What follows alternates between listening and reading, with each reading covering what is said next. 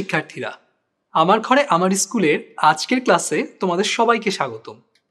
আজকে আমরা তোমাদের বাংলাদেশের ইতিহাস ও বিশ্ব সভ্যতা বইয়ের দশম অধ্যায়, ইংরেজ শাসন আমলে বাংলার স্বাধিকার আন্দোলন এই অধ্যায়ের কিছু অংশ নিয়ে আলোচনা করব। চলো দেখে নেওয়া যাক আজকে আমরা কি কি শিখছি। আজকে শুরুতেই আমরা স্বদেশী আন্দোলন নিয়ে শুনব এবং স্বদেশী আন্দোলনের যে প্রেক্ষাপট অর্থাৎ স্বদেশী আন্দোলন কেন শুরু হয়েছিল সেটি নিয়ে জানব। তারপর আমরা খিলাফত আন্দোলন নিয়ে জানব এবং সব শেষে অসহযোগ আন্দোলন নিয়ে আমরা আলোচনা করব। তোমরা জানো, আঠারোশো সাতান্ন সালে প্রথমবারের মতো ভারতবর্ষে স্বাধীনতা সংগ্রাম শুরু হয়। ব্রিটিশ ইস্ট ইন্ডিয়া কোম্পানি সতেরোশো সাতান্ন সালে যখন বাংলার শেষ নবাব সিরাজউদ্দৌলাকে হারিয়ে এই ভারতবর্ষ দখল করে নেয় এবং শাসন করা শুরু করে তার ঠিক একশো বছর পর কিন্তু আঠারোশো সাতান্ন সালে ভারতীয় সিপাহীরা ব্রিটিশ শাসনের বিরুদ্ধে বিদ্রোহ করে বসে। এবং সেই বিদ্রোহের পিছনে কিন্তু বেশ কিছু সামাজিক, রাজনৈতিক এবং সামরিক কারণ ছিল। তোমাদের নিশ্চয়ই মনে আছে ভারতীয় সৈন্যদের মধ্যে মুসলিম এবং হিন্দু সম্প্রদায়ের সিপাহীরা কি কারণে প্রথমবারের মতো ব্রিটিশদের বিরুদ্ধে বিদ্রোহ করেছিল? তাদের সবার জন্য কিন্তু এনফিল্ড রাইফেল ছিল, যেখানে দাঁত দিয়ে কেটে টোটা ঢুকাতে হতো। এবং গুজব ছড়িয়ে পড়েছিল যে শুকর এবং গরুর চর্বি দিয়ে এই টোটা তৈরি হয়। এটি ছিল একটি বারুদে ফুলকির মতো। কিন্তু এছাড়াও কিন্তু অনেক সামাজিক এবং অর্থনৈতিক কারণে এই বিদ্রোহ প্রথমবারের মতো শুরু হয়। এবং সেই বিদ্রোহের ফলশ্রুতিতে পরবর্তীতে কিন্তু আমরা দেখতে পাই উনিশশো পাঁচ সালে বঙ্গভঙ্গ হয়েছিল। এই বঙ্গভঙ্গ কিন্তু ব্রিটিশরা যেন হিন্দু এবং মুসলমানদের মধ্যে ঐক্যবদ্ধ কোনো প্রতিরোধ তৈরি না হয়, সেই লক্ষ্যকে সামনে রেখে করেছিল। এবং এই বঙ্গভঙ্গের বিরুদ্ধে কিন্তু হিন্দুরা প্রথমবারের মতো কংগ্রেসের মধ্য দিয়ে বা কংগ্রেস দলের মধ্য দিয়ে আন্দোলন শুরু করে। তোমাদের নিশ্চয়ই মনে আছে বেঙ্গল প্রেসিডেন্সি ছিল প্রায় এক তৃতীয়াংশ মানুষের বসবাস পুরো ভারতবর্ষের যেটি পুরো মানচিত্র জুড়ে ছিল।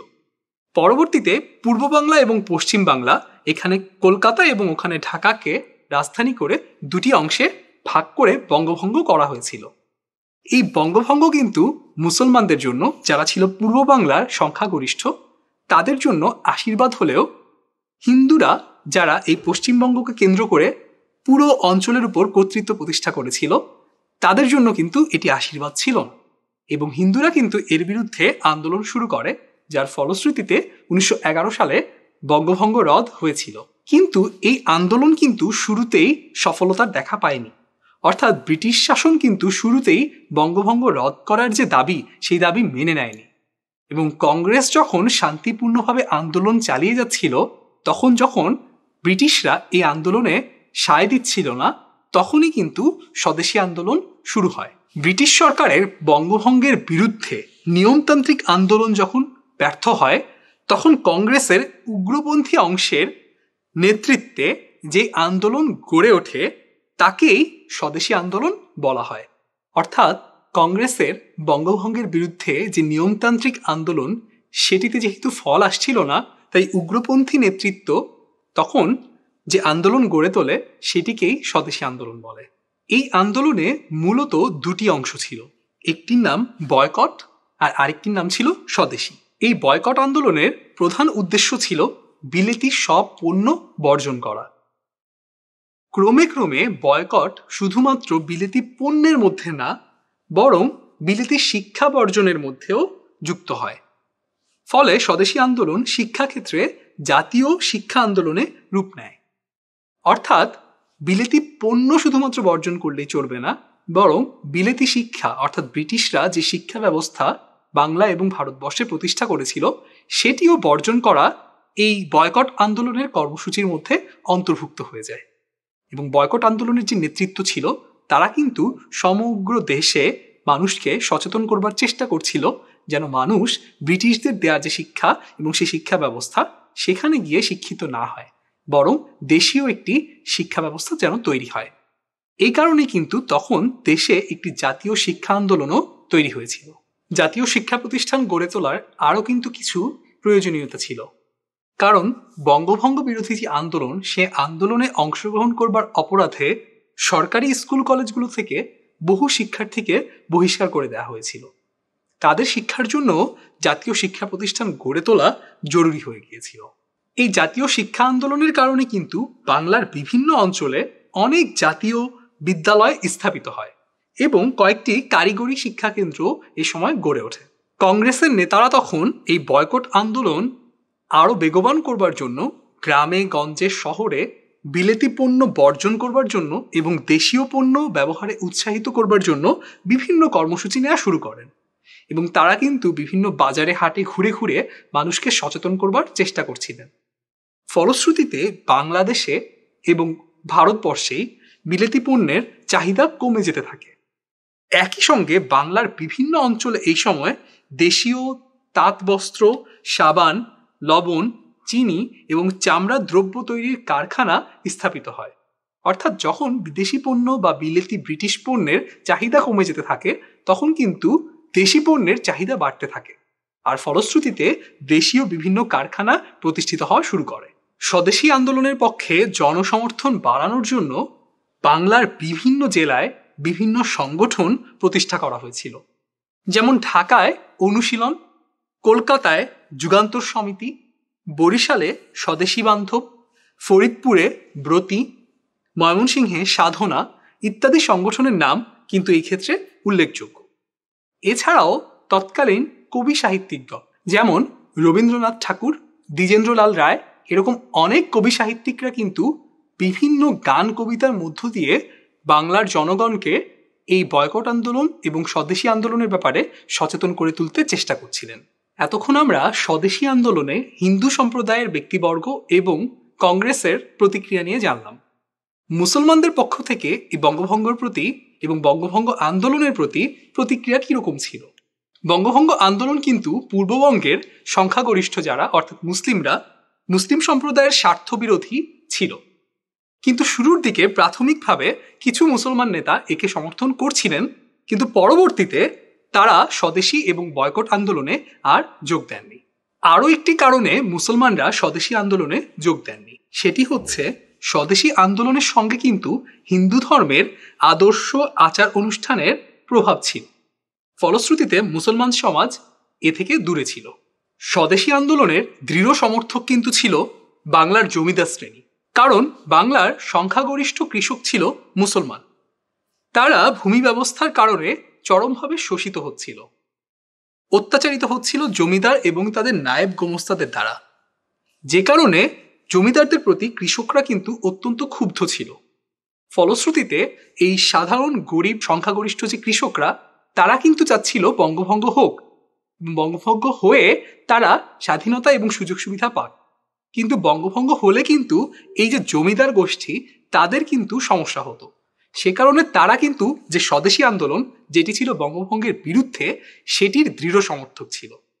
আমরা কিন্তু দেখতে পাই জমিদারদের অধিকাংশই ছিলেন হিন্দু। অর্থাৎ অভিজাত সম্প্রদায়ের যেসব জমিদাররা ছিলেন, তাদের অধিকাংশের ধর্মই ছিল হিন্দু ধর্ম। জমিদারদের অত্যাচারে কিন্তু অতিষ্ঠ ছিল হিন্দু কৃষকরাও। অর্থাৎ গরিব সম্প্রদায়, সে হিন্দু হোক বা মুসলিম হোক, তারা কিন্তু ধনী জমিদার সম্প্রদায় দ্বারা অত্যাচারিত ছিল। এবং তারা কিন্তু বঙ্গভঙ্গের পক্ষেই ছিল। অপরদিকে যে জমিদাররা, যারা আসলে এই সাধারণ কৃষকদেরকে শোষণ করত, তারা কিন্তু চাইছিল বঙ্গভঙ্গ যেন না হয়। ফলশ্রুতিতে তারা স্বদেশী আন্দোলনের সপক্ষে ছিল। মুসলিম সমাজ স্বদেশী আন্দোলন থেকে যেহেতু দূরে ছিল, আর একটা বিশাল অংশের জনগোষ্ঠী তো মুসলিম সম্প্রদায়ের। ফলশ্রুতিতে স্বদেশী আন্দোলন একটা জাতীয় রূপ লাভ করতে ব্যর্থ হয়। এই আন্দোলনের মাধ্যমে বিলেতি দ্রব্য বর্জন আন্দোলনও সফল হয়নি। কারণ কলকাতার যে মারোয়ারি অবাঙালি ব্যবসায়ীরা ছিল এবং বাংলার গ্রামগঞ্জের যে সাধারণ ব্যবসায়ীরা ছিল, তারা কিন্তু এই আন্দোলনের সঙ্গে যুক্ত হয়নি। অর্থাৎ হিন্দু যে অভিজাত সম্প্রদায়, জমিদাররা এবং কংগ্রেসের যে নেতৃবৃন্দ, তারা কিন্তু এই আন্দোলনকে একটি জাতীয় রূপ দিতে ব্যর্থ হন। তার অন্যতম মূল কারণ ছিল মুসলমান সম্প্রদায় এই আন্দোলনের সাথে একেবারেই একমত ছিল না। তার পাশাপাশি সাধারণ গরিব যে কৃষকরা, তারা হিন্দু হোক কিংবা মুসলিম হোক, তারা কিন্তু এই আন্দোলনের সপক্ষে ছিল না। অর্থাৎ তারা সবাই চাইতো বঙ্গভঙ্গ হোক। এছাড়াও অবাঙালি যে মারোয়ারি ব্যবসায়ীরা কিংবা গ্রামেগঞ্জের সাধারণ ব্যবসায়ীরা, তাদের জন্য কিন্তু এই বিলেতি পণ্য বর্জনের ব্যাপারটি একটি ক্ষতির ব্যাপার ছিল। কারণ সেক্ষেত্রে তাদের ব্যবসা বাণিজ্য কমে যাবে। সেজন্য তারা কিন্তু এর মোটেও পক্ষে ছিল না। অতএব যেহেতু সাধারণ মানুষরা এবং গরিবরা এবং ব্যবসায়ীরা এর পক্ষে ছিল না, ফলশ্রুতিতে এই আন্দোলন একটা জাতীয় রূপ লাভ করতে ব্যর্থ হয়। পরবর্তীতে দেখা যায় এই আন্দোলন ধীরে ধীরে গোপনে সশস্ত্র সংগ্রামের পথে অগ্রসর হচ্ছে। এবং যে কোনো সশস্ত্র গোপন সংগ্রাম জনগণ থেকে কিন্তু আস্তে আস্তে দূরে সরে যায়। আর ঠিক সেই কারণেই এই গণবিচ্ছিন্ন আন্দোলন সফলতার দ্বারে পৌঁছতে ব্যর্থ হয়। কারণ এরকম একটি আন্দোলন যেটি ব্রিটিশদের মতো একটি ক্ষমতাবান এবং দখলদার পক্ষের বিরুদ্ধে, সেখানে কিন্তু সাধারণ জনগণের সমর্থন অত্যন্ত গুরুত্বপূর্ণ। কিন্তু যখন পুরো আন্দোলনটি সাধারণ জনগণ থেকে বিচ্ছিন্ন হয়ে যায়, তখন কিন্তু এটি আর সফল হওয়ার কোনো কারণ থাকে না। এই আন্দোলনের একটি ইতিবাচক দিক হিসেবে ধরা হয় অর্থনৈতিক সমৃদ্ধি। এই দেশের যে ধনী ব্যক্তিরা ছিল তারা কিন্তু এই আন্দোলনের পরিপ্রেক্ষিতে বিভিন্ন ধরনের কলকারখানা স্থাপন করতে শুরু করে। আমরা সবসময় যেমনটা বলছিলাম যে, সাধারণ গরিব কৃষকরা এই আন্দোলনের পক্ষে না থাকলেও ধনীরা কিন্তু এই আন্দোলনের পক্ষে ছিল। এবং আমরা দেখতে পাই স্বদেশি তাঁত বস্ত্র সাবান, লবণ, চিনি, কাগজ, চামড়াজাত দ্রব্য ইত্যাদি দ্রব্য উৎপাদন করবার যে কলকারখানা, সেই কলকারখানা কিন্তু এই সময় প্রতিষ্ঠিত হয়। কেননা কিছুটা হলেও স্বদেশি বা দেশি জিনিসের চাহিদা তৈরি হয়েছিল। আর এই সময়ে কিন্তু বেশ কিছু আধুনিক শিল্প প্রতিষ্ঠান, যেমন বেঙ্গল কেমিক্যাল কোম্পানি প্রতিষ্ঠিত হয়। তাছাড়া বিখ্যাত টাটা কোম্পানি উনিশশো দশ সালে কারখানা প্রতিষ্ঠা করে। এই স্বদেশী আন্দোলন এবং বঙ্গভঙ্গ বিরোধী যে আন্দোলন সেই আন্দোলনকে সামনে রেখে কিন্তু বিশ্বকবি রবীন্দ্রনাথ ঠাকুর, আমার সোনার বাংলা আমি তোমায় ভালোবাসি এই গানটি রচনা করেন, যা পরবর্তীতে উনিশশো বাহাত্তর সালে বাংলাদেশের জাতীয় সংগীত হিসেবে নির্বাচিত হয়।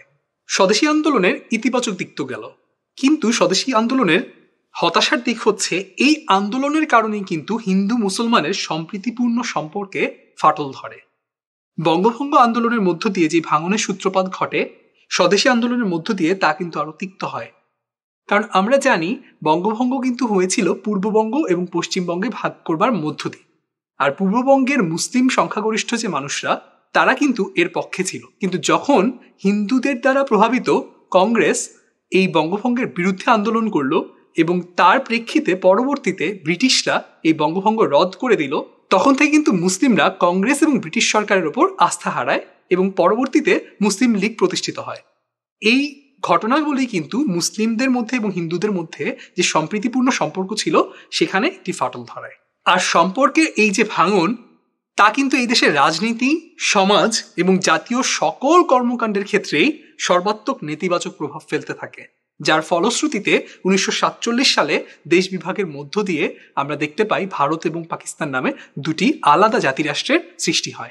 এতক্ষণ কিন্তু আমরা স্বদেশী আন্দোলন নিয়ে আলোচনা করলাম, যেটি বঙ্গভঙ্গের বিরুদ্ধে করা হয়েছিল এবং এই আন্দোলনের মধ্য দিয়ে হিন্দু এবং মুসলিমের মধ্যে যে সম্প্রীতির ভাঙন, তা নিয়ে আমরা আলোচনা করলাম। এবার আমরা কিন্তু অন্য দুটি আন্দোলন নিয়ে আলোচনা করব, যা এই ভারতবর্ষের ইতিহাসে অত্যন্ত গুরুত্বপূর্ণ। উপমহাদেশের রাজনৈতিক ইতিহাসে খিলাফত এবং অসহযোগ আন্দোলন অত্যন্ত গুরুত্বপূর্ণ ঘটনা। কারণ এই আন্দোলন দুটি ছিল কিন্তু ইংরেজ শাসনের বিরুদ্ধে প্রথম ব্যাপক এবং জাতীয় ভিত্তিক গণ আন্দোলন। এই আন্দোলনে হিন্দু মুসলমানরা ঐক্যবদ্ধভাবে ব্রিটিশ সাম্রাজ্যের বিরুদ্ধে আন্দোলন শুরু করে এবং ব্রিটিশ সাম্রাজ্যের ভিত কাঁপিয়ে দেয়। আমরা এতক্ষণ পর্যন্ত হিন্দু মুসলিমদের কোনো আন্দোলনে কিন্তু দেখতে পাইনি যে ঐক্যবদ্ধভাবে তারা আন্দোলন করছে। কিন্তু এই প্রথমবারের মতো আমরা দেখব খিলাফত এবং অসহযোগ আন্দোলনের সময় হিন্দুরা এবং মুসলিমরা উভয় সম্প্রদায় ঐক্যবদ্ধ হয়ে ব্রিটিশদের বিরুদ্ধে আন্দোলন করছে। তাহলে চলো এই দুটি আন্দোলন সম্পর্কে বিস্তারিত জেনে নেওয়া যায় তাহলে চলো এবার আমরা শুরুতে খিলাফত আন্দোলন নিয়ে জানি। খিলাফত আন্দোলন মূলত ছিল মুসলিম সম্প্রদায়ের আন্দোলন। এবং এই আন্দোলনের সূচনা কীভাবে হয়েছিল, তার প্রেক্ষাপট ছিল অনেকটা এরকম। ভারতের মুসলমানেরা তুরস্কের সুলতানকে মুসলিম বিশ্বের খলিফা বা ধর্মীয় নেতা হিসেবে শ্রদ্ধা করত। এখন যেমন সারা পৃথিবীতে কোনো সার্বজনীন নেতা নেই, কিন্তু তখন কিন্তু মুসলিমদের খলিফা ছিল এবং ইসলামী খেলাফত ছিল, যেটি ছিল অটোমান খেলাফত এবং তুরস্ককে কেন্দ্র করে। তুরস্কের তখন যিনি সুলতান ছিলেন, তাকে পুরো মুসলিম বিশ্বের খলিফা হিসেবে সম্মান করা হতো। এবং বাংলা এবং ভারতবর্ষে যে মুসলমানরা ছিলেন, তারা কিন্তু তুরস্কের খলিফাকে নিজেদের খলিফা মনে করতেন। প্রথম বিশ্বযুদ্ধে যখন যুদ্ধরত দেশগুলো দুই ভাগে ভাগ হয়ে যায়, তখন কিন্তু ব্রিটিশদের সবচেয়ে বড় শত্রু ছিল জার্মানি। তুরস্ক কিন্তু ব্রিটিশদের শত্রু, অর্থাৎ জার্মানির সাথে জোটবদ্ধ হয়ে যুদ্ধ শুরু করে। এবং এই যুদ্ধে কিন্তু বাংলাদেশের বা বাংলার মুসলমানরা এবং ভারতবর্ষের মুসলমানরা রাজনৈতিক কারণেই যেহেতু তারা ব্রিটিশদের অধীনে আছে, অতএব তাদের কিন্তু রাজনৈতিকভাবে ব্রিটিশদেরকেই সমর্থন দিতে হয়েছে বা তারা কিন্তু সমর্থন দিতে বাধ্য হয়েছে। তাহলে তারা কিন্তু নিজেদের যে খলিফা বা ধর্মীয় নেতা, সেই দেশ বা খেলাফত, অটোমান খেলাফত বা তুরস্ক, তার বিরুদ্ধে ব্রিটিশদেরকে সমর্থন দিচ্ছে। এই সমর্থন কিন্তু ছিল শর্ত সাপেক্ষ। অর্থাৎ ভারতবর্ষের মুসলিমরা ব্রিটিশদেরকে সমর্থন দেওয়ার জন্য এই শর্ত দেয় যে তুরস্ককে কোনো ক্ষতি ব্রিটিশরা করবে না।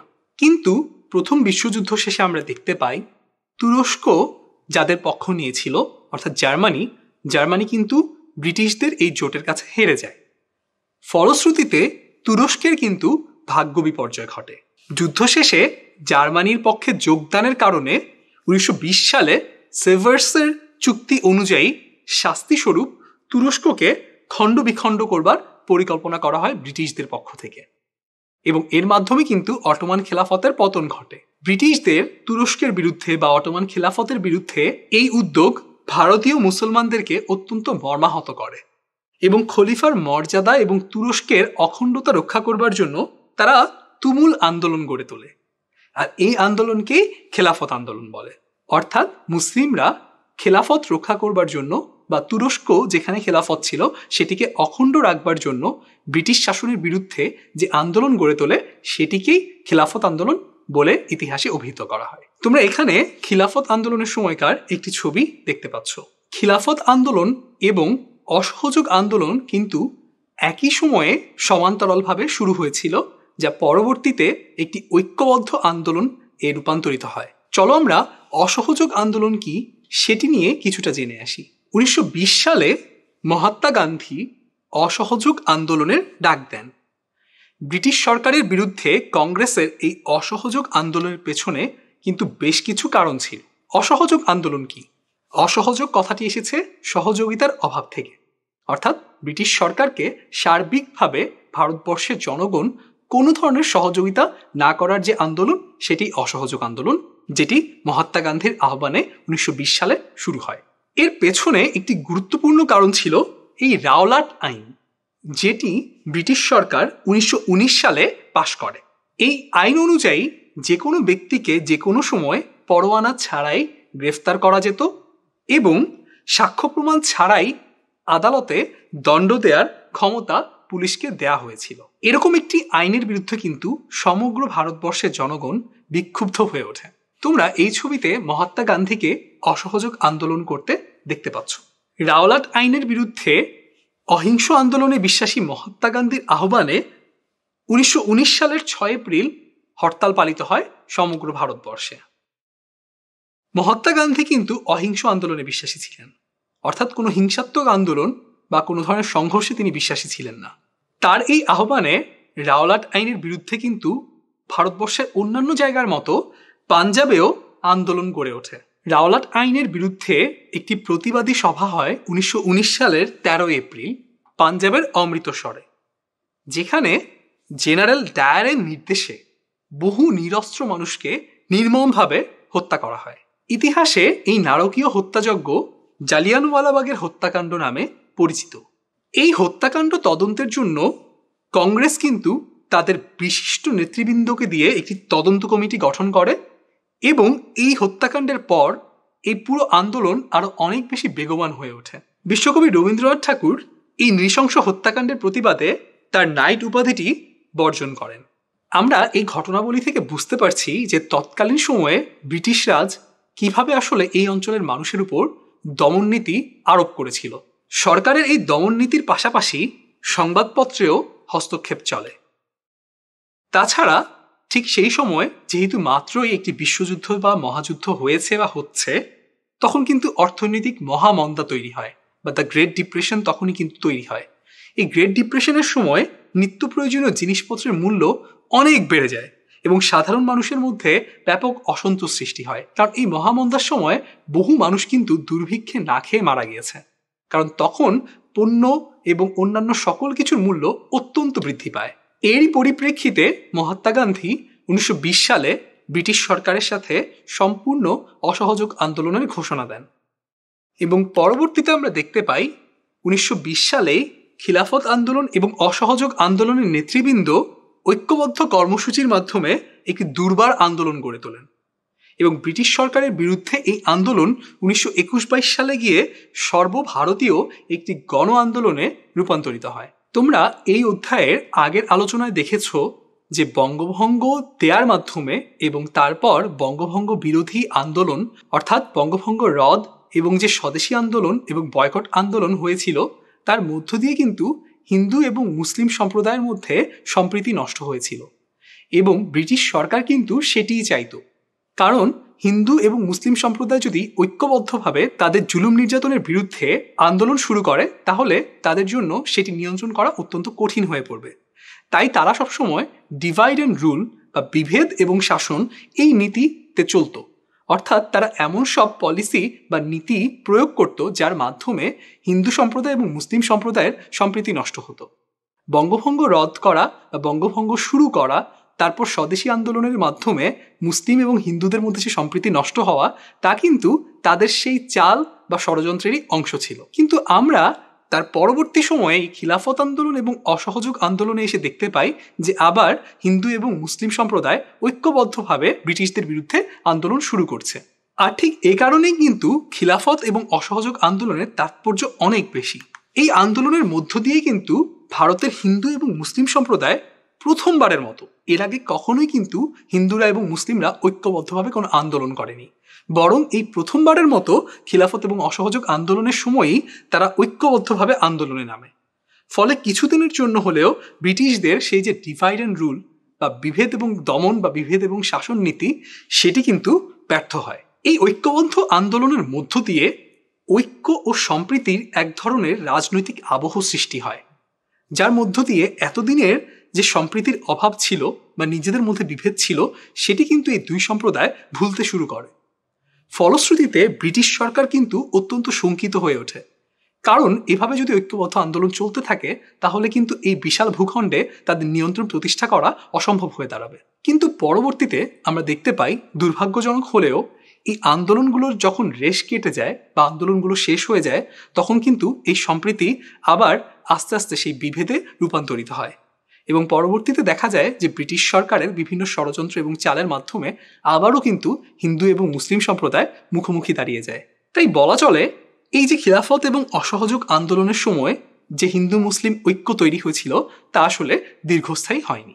প্রিয় শিক্ষার্থীরা, তাহলে আজকে আমরা কি কি জিনিস শিখলাম? আমরা শুরুতেই আলোচনা করেছি স্বদেশী আন্দোলন সম্পর্কে। স্বদেশী আন্দোলন কি? সেটি হচ্ছে যখন বঙ্গভঙ্গের বিরুদ্ধে কংগ্রেস নিয়মতান্ত্রিক আন্দোলন চালিয়ে যাচ্ছিল।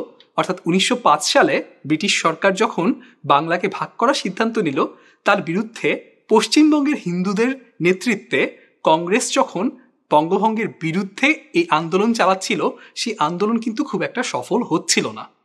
তাই কংগ্রেসেরই উগ্রপন্থী যে নেতৃত্ব ছিল, তারা কিন্তু সশস্ত্র আন্দোলনে আস্তে আস্তে সরে যায়। এবং সেই আন্দোলনকেই আমরা বলি স্বদেশী আন্দোলন। আমরা পরবর্তীতে আলোচনা করেছি যে স্বদেশী আন্দোলন দুই ভাগে বিভক্ত ছিল। একদিকে ছিল সেই বয়কট আন্দোলন, যেখানে বিলেতি পণ্য, বিলেতি শিক্ষা এই সব কিছুকে বয়কট করবা বা বর্জন করবার একটি সচেতনতা তৈরির চেষ্টা ছিল। আরেকদিকে ছিল স্বদেশী আন্দোলন বা মূল যে সশস্ত্র বা হিংসাত্মক আন্দোলন। সেই আন্দোলনের সাথে কিন্তু বড় বড় কবি সাহিত্যিক যেমন রবীন্দ্রনাথ ঠাকুর, দ্বিজেন্দ্রলাল রায় তাদের সমর্থন কিন্তু আমরা দেখতে পেয়েছি। কিন্তু আমরা পরবর্তীতে এটিও দেখেছি যে স্বদেশী আন্দোলনে মুসলিমদের এবং যে গরিব কৃষকরা ছিল, অর্থাৎ হিন্দু কৃষকরা, মুসলিম কৃষকরা যারাই হোক না কেন, সেই গরিব কৃষকদের কিন্তু সমর্থন ছিল না। তাই পরবর্তীতে আস্তে আস্তে এই আন্দোলন জনসমর্থন হারায়। আর আমরা এটিও দেখতে পাই, সশস্ত্র আন্দোলন হওয়ার কারণে সাধারণ জনগণের সাথে যেহেতু দূরত্ব তৈরি হয়, ফলশ্রুতিতে এই আন্দোলন আস্তে আস্তে ব্যর্থতায় পর্যবসিত হয়। এরপর আমরা আলোচনা করেছিলাম খিলাফত আন্দোলন সম্পর্কে, যেখানে আমরা দেখতে পেয়েছি যে তুরস্কের তৎকালীন যেই মুসলিম খেলাফত বা অটোমান খেলাফত ছিল, এই অঞ্চলের মানুষের তার প্রতি একটা আনুগত্য ছিল। কিন্তু প্রথম বিশ্বযুদ্ধে তুরস্ক যখন জার্মানির পক্ষ নেয়, যারা ব্রিটিশদের শত্রু ছিল এবং জার্মানি যখন ব্রিটিশদের কাছে যুদ্ধে হেরে যায়, তখন কিন্তু ব্রিটিশরা তুরস্ককে খণ্ডবিখণ্ড করবার সিদ্ধান্ত নেয়। আর সেই সিদ্ধান্তের বিরুদ্ধে এবং খেলাফতকে অখণ্ড রাখবার জন্য এই অঞ্চলের মুসলিমরা একটি আন্দোলন গড়ে তোলে। সেটাকেই আমরা বলছিলাম খিলাফত আন্দোলন। আর সবশেষে আমরা আলোচনা করেছি অসহযোগ আন্দোলন সম্পর্কে, যেখানে আমরা দেখতে পাই রাওলাট আইনের মতো আইন কিংবা জালিয়ানওয়ালাবাগ হত্যাকাণ্ডের মতো ঘটনার মাধ্যমে যখন পুরো ভারতবর্ষের মানুষ ব্রিটিশদের বিরুদ্ধে বিক্ষুব্ধ হয়ে ওঠে, তখন উনিশশো বিশ সালে মহাত্মা গান্ধীর আহ্বানে পুরো ভারতবর্ষের মানুষই অসহযোগ আন্দোলনে যোগ দেয়। এবং আমরা দেখতে পাই অসহযোগ আন্দোলন এবং খিলাফত আন্দোলন যেহেতু একই সময় চলছিল, তাই এই দুই আন্দোলনের নেতৃবর্গ একসাথে ঐক্যবদ্ধ হয়ে একটি জাতীয় আন্দোলনে রূপ দেয় এই আন্দোলনকে, যার মাধ্যমে ব্রিটিশরা আসলে শঙ্কিত হয়ে ওঠে। তাহলে প্রিয় শিক্ষার্থীরা, আশা করি তোমরা আজকে আমরা যে বিষয়গুলো নিয়ে আলোচনা করলাম, সেগুলো বুঝতে পেরেছ। আজ এ পর্যন্তই। তোমরা সবাই ভালো থাকো, সুস্থ থাকো।